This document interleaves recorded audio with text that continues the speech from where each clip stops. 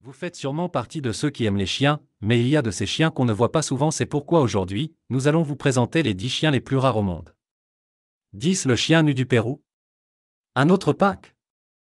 Un chien tout nu, sans poils donc, si ce n'est sur la tête, où se trouve une belle crête.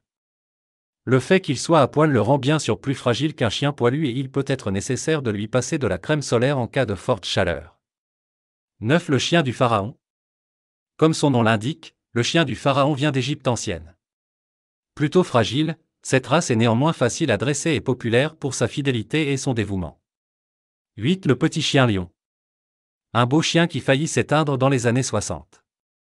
Aujourd'hui, il est toujours très rare. C'est un excellent chien de compagnie, affectueux, fidèle et obéissant. Cette Lazawak. Originaire du Sahel, cette espèce de lévrier est appréciée pour sa vitesse. Il est connu pour être distant, pas spécialement affectueux et super rapide donc, jusqu'à 70 km/h. 6. Le dog du Tibet. Il paraît que le dog du Tibet, lui qui accompagne les bergers depuis plus de 3000 ans, pourrait être à l'origine de toutes les races de montagne. Particulièrement difficile à se procurer, c'est l'un des chiens les plus rares du monde. L'un des plus chers aussi. En 2011, un dog du Tibet a été vendu pour 1,5 million de dollars. 5. Le Carolina Dog. C'est le dingo américain. Il était déjà là il y a 8000 ans, quand les hommes traversèrent le détroit de Bering. Autant dire qu'il est vieux. Et timide aussi. À noter qu'il ne ressemble pas du tout à Dingo, le meilleur ami de Mickey. 4. Le lindin. Aussi appelé chien norvégien de Macareux, ce chien originaire de Norvège est assez exceptionnel, non seulement il possède six doigts à chaque patte mais il est aussi extrêmement souple.